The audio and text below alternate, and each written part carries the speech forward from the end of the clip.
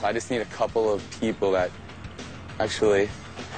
What's your name? Eva. I'm gonna try using you too. Let's just try putting you down here. If I can have you lay down, just like this, perfect. Just lay straight back for me. Okay, good. And um, could you go around?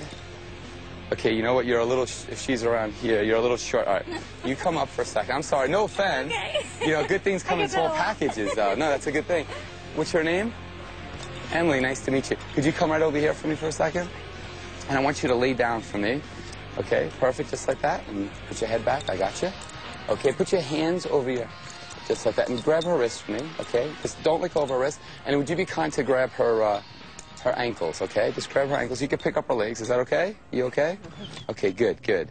What we're gonna try here is I'm gonna ask you to apply equal pressure. Okay, both of you are gonna apply equal pressure.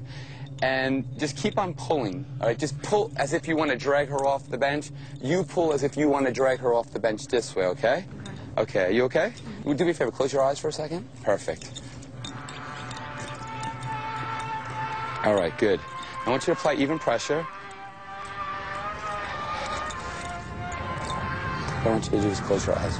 Relax, okay? Relax. And I want you to just pull right now. Just pull. Pull, pull!